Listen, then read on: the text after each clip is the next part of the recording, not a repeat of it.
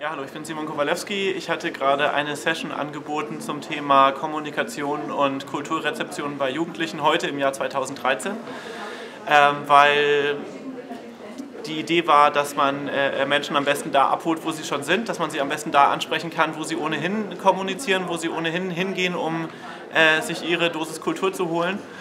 Und ähm, um das sozusagen überhaupt erstmal greifen zu können, haben wir mal Brainstorming gemacht, äh, was für Wege zu kommunizieren oder Kultur aufzunehmen, äh, kennt ihr eigentlich alle. Da haben wir dann so ein ganzes Flipchart voll mit Zetteln hinterher gehabt. Äh, und die haben wir dann äh, sortiert ähm, auf sozusagen äh, auf zwei Achsen, einmal online bis offline. Also was, wie, wie äh, online, wie offline sind diese Medien. Da gibt es natürlich auch einen ganz großen Graubereich dazwischen. Und das andere war eben Kommunikation bis Konsum. Also was, was ist äh, sehr involvierend, wo machen die Leute vor allem selber Dinge äh, oder kommunizieren mit einem kleinen Kreis und was ist halt so wirklich so klassische Breitenwirkung, äh, also die klassischen Medien äh, fielen da auch drunter. Wir hatten zum Beispiel den Zettel Kino, der hing bei Offline und Konsum äh, ganz in der Ecke und wir hatten ähm, einen Zettel, der hieß analoge Kommunikation, der hing bei Offline und Kommunikation und der war sehr eigenständig. Also der hatte sozusagen seinen komplett eigenen Cluster gebildet. Und dann kam lange nichts und dann kamen die ganzen anderen Zettel und die haben wir so ein bisschen eingeteilt nochmal in drei Blöcke. Das eine waren eben so die klassischen äh, Offline-Medien, also da waren Poster dabei, wie gesagt, das Kino, Theater, äh, Flyer, äh, die, die Stadtmagazine City und Tipp.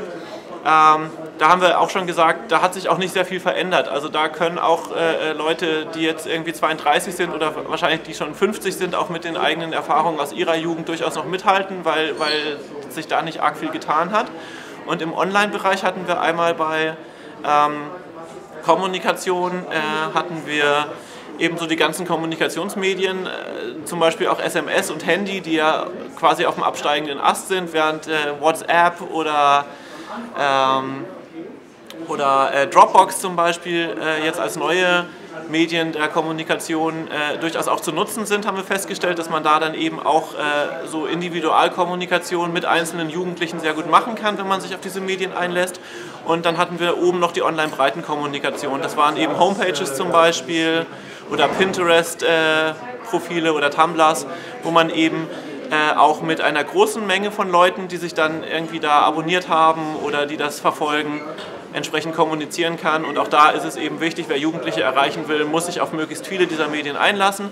Das muss aber auch nicht unbedingt viel Arbeit sein, weil wir haben auch kurz darüber gesprochen, dass es eben auch Möglichkeiten gibt, äh, sozusagen die einzelnen Medien miteinander zu verbinden, dass man äh, sozusagen einen Tumblr-Post, den man macht, dann auch automatisch bei Twitter hat, automatisch im Facebook hat, automatisch bei Pinterest hat und, und, und. Also es hilft da eine Struktur zu haben, dann ist es relativ wenig Arbeit, um die Leute, die eben bei diesen ganzen verschiedenen Medien sozusagen sind, äh, gleichzeitig zu erreichen. Und das war, glaube ich, auch so die hauptsächliche Message, die wir dann bei unserer Session hatten.